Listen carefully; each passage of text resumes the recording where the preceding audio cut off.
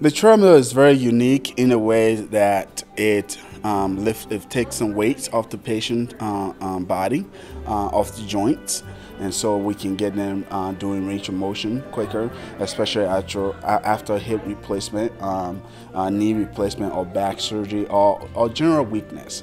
We can take some weight off and get them to um, move early on into the rehab. Even though your body weight is off, you stay you stay engaged activate those muscles that we're wanting you to activate so um, picking your leg up and moving it and advancing it forward you stay engaging those muscles that really help you move your legs and pick your legs up so you're not you're just not moving it against your whole body. And the AlterG come with uh, a monitor. And so we use that monitor as a biofeedback to show the patient their progress and to tell them, okay, this is what I want you to do to correct this. it, it is a win-win for, for the patient for us.